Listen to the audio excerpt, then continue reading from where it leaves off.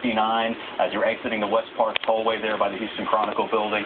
That's impassable right now, at least uh, temporarily, and that's all heading into downtown Houston. Now, we do have a flash flood warning that continues for Katy, Cypress, Jersey Village, and Tomball, and that's in effect until uh, 745 this morning because we've had such heavy rain there, and it came down so quickly. We literally had measured rainfall amounts of three and a half inches in one hour's time, and that's about as heavy as you will ever, ever see. Uh, right now, along Highway 288, we have really heavy rain. That's for folks coming in from Pearland. And once you get inside the Beltway, raining cats and dogs all the way from the loop into downtown Houston. That's going to be enveloping Highway, uh, excuse me, Interstate 45, the Gulf Freeway from downtown down to the city of South Houston and Hobby Airport, too. And unfortunately, some of the worst weather right now hitting the areas that have already been inundated with heavy rain, like Jersey Village and the 249 corridor, and then up there to around Spring.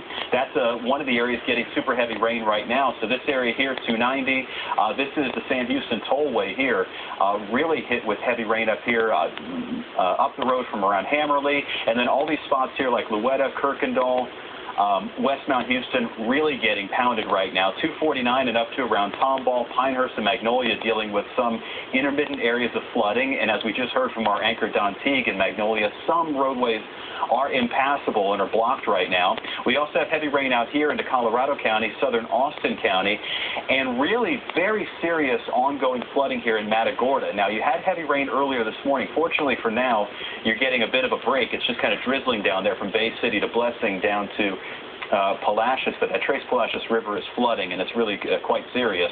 Areas off to the east of Houston, I don't mean to be ignoring you this morning. It's just that up until now, you've been avoiding the worst of it.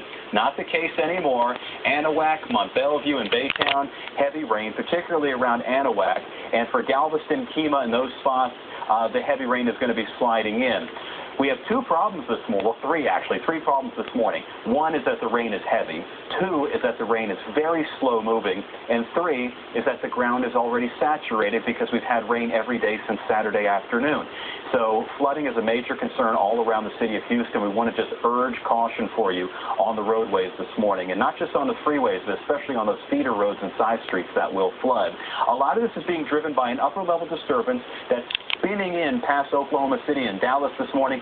Much drier air to the north of a stationary front. So this is just sitting there. To the north of it, very dry. To the southeast of it, very wet. And we should be inundated with this heavy rain at least through noontime. There's a chance that some of this dry air will wrap its way in after